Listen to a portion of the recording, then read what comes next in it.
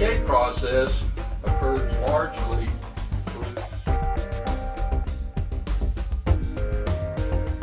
Um, my name is Brett. I work for in realtor. Cut short on the inspections to make sure that we're getting something really we're getting. Because buyers are one thing and savvy is not among them. Give the buyer the right to walk away from the agreement if they have